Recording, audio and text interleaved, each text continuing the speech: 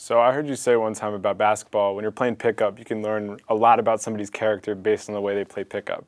So you've played hoops with LeBron, with President Obama, MJ. You know, what have you picked up about some of these guys while you've been around them? Uh, which one do you want to ask about? Let's go with President Obama first. Uh, so start there. Uh, not surprisingly, unbelievably cerebral. really, really smart player.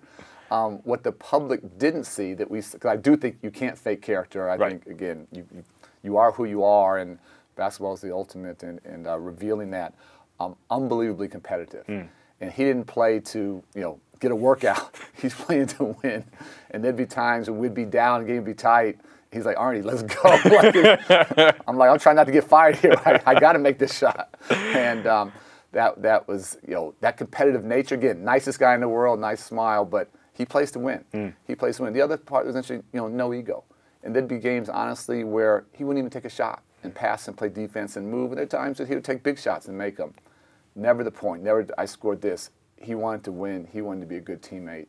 And um, again, going back, you know, 15, 20 years, um, we knew that. Mm-hmm. We knew that. The public didn't know that, right. but we knew that. You've known this for a long time. So how about LeBron? What was his game like when you guys played? LeBron was that was a little bit more social. That so that was, that was a little less uh, pressure. But um, again, it's well the, the commonality shares the basketball. Mm. Unbelievable passer. Teammate first. Teammate. Make everybody look good. Uh, move it. And um, that's he could score. He could do. You know, he's going to end up one of the leading scorers in the history of the NBA. Um, I would argue he's a better teammate, a better passer than he is a scorer. Mm. And then how about Jordan?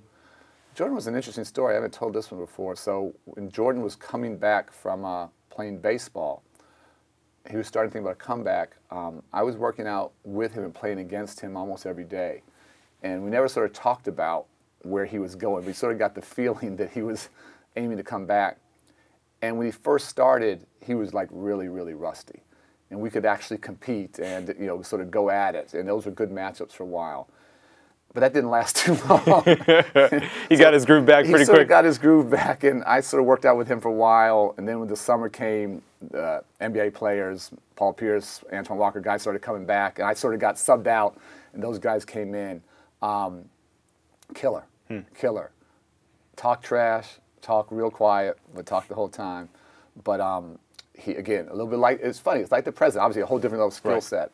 Nicest guy in the world, nicest guy at the core. great smile, but an absolute killer. Mm. And, and Michael would try and beat you mentally, beat you psychologically before he'd try and beat you physically.